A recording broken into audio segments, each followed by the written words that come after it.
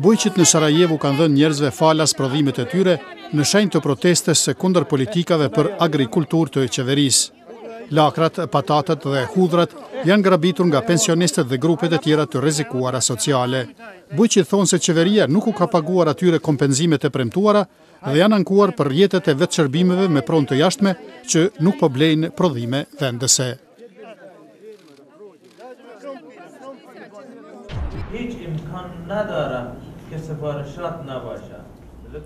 Në kryeqytetin Kabul në Afganistan, policia ka njoftuar se janë arrestuar njëqind vetë lidhur me sulme terroriste dhe krimin e organizuar.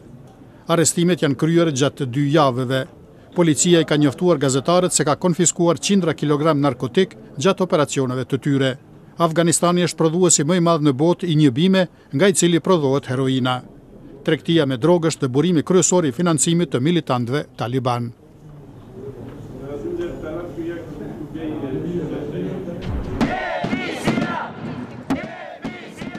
Para Bankës Qendrore të Moldavisë në kryeqytetin Kishinjev, Është organizuar një protestë e zëshme, me ç'rast është kërkuar dorëheqja e guvernatorit të bankës.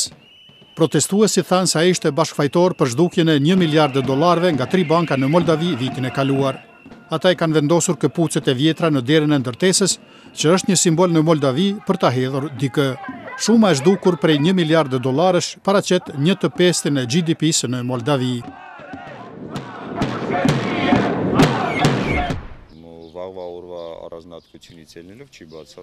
Në kryeqytetin Erevan në Armeni, një grup i vogël i protestuesve ka vazhduar ta bllokojë njërën nga rrugët kryesore në kuadër të demonstratës për shkak të rritjes së planifikuar të çmimeve të rrymës elektrike.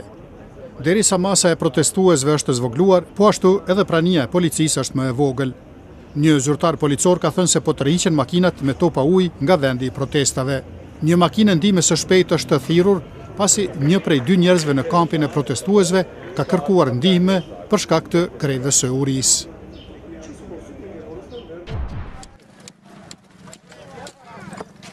Në Peshavar të Pakistanit, shitësit e akullit po përfitojnë nga vala e madhe e të nxehtit, që ka shkaktuar probleme të mëdha dhe vdekje të njerëzve.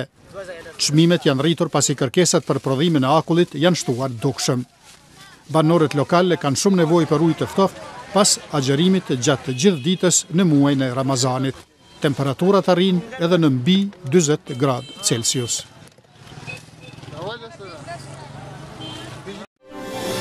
Dhamë videolajmet e radios Evropa e Lirë.